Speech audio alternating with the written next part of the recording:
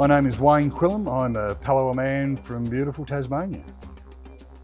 I grew up in, in Tasmania back in the early 60s, 70s, and um, it was an incredible lifestyle, you know, quite quaint and quite beautiful. Of course, we had a, a, gorgeous community down there, but there wasn't a lot of what we know as Indigenous culture or knowing about our own culture down there. It was so important to me when I was contacted by, by Mark and his team at Yakazoo and my really good friend Rhoda Roberts, who's this incredible woman that has this passion for bringing people in and sharing how, how to share the culture. She, she basically works with the best of the best in the world. So when these guys contacted me, said, Wayne, we, we would love to sit down and work out how can we share culture in a visual manner. We can put it up at the iconic Sydney Harbour Bridge and show it in such a fashion where people will be able to understand who you are and what we are. So when Rhoda came up with the concept of the welcome to country, the acknowledgement of country, she said, let's incorporate photography and the stories of the local nation.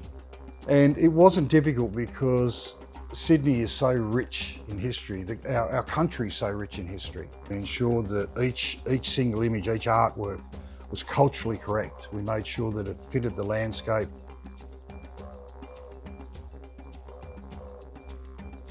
It's immeasurable the experience that I'm having at the moment because I've also got my wife and daughter with me.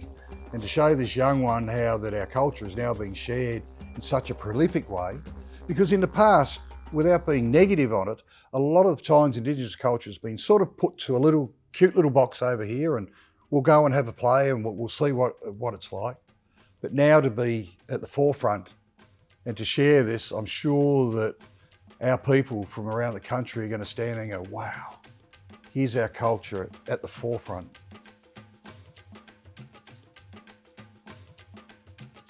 Before we were colonised, all of, um, all of our culture was never written.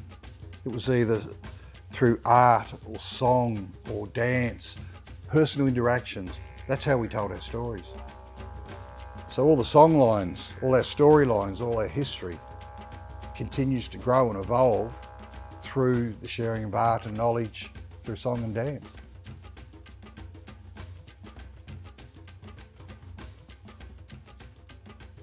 Yeah, in the past three to four years, I've found that, that, that Indigenous art has really progressed our culture and our storytelling and, and evoked emotional change and social change on so many levels.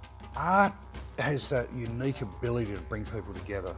Whether you like the arts or, or it's not your, your preferred platform is that I tend to find that it's a conversation starter.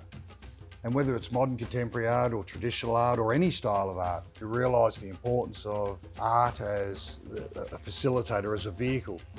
And I noticed in particular when we couldn't all gather, but when I shared my art, we had a lot of different commentary from a lot of different people from around the world. People wanted to know more, which then brought us together into a forum.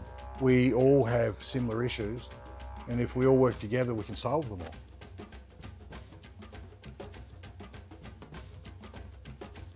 The, acceptance of Indigenous culture through art has expanded so rapidly, and I'd suggest even probably the past three to four years, it's grown to a new place. Before, our, our artwork has been valued, but in an ethnographic sense. It's been, it's been historicised, I call it, because people look at the, our old people, our old people's artwork from say the desert, or the Yolngu in the north, or the Aranda in the central, and the stories they tell through art is, is incredible. And we hold those people with the greatest respect. We love what they do. But they're also teaching us, as the young ones that are coming through, is that we need to keep history alive. We need to develop our own artwork and tell our stories in our own manner, in the way that history has always evolved. Culture evolves every day. And unfortunately, sometimes people see culture as something that's set back, you know, thousands of years, but the reality is, is culture is being taught and told and is evolving every day. Indigenous culture is Australian culture. We just need to embrace it and find out and look for us. Come and see us because we want people to walk with us.